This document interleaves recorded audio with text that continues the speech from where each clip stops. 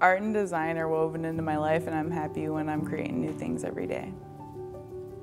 When I decided to restart my education from where I left off, FTCC was the natural choice for me because the campus is nearby, the tuition's affordable.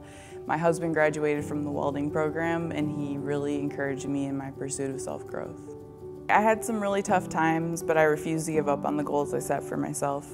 The excellent instructors and wealth of knowledge and experience they have from working in the field helped me push through. I finished my program with a 4.0 GPA and highest honors.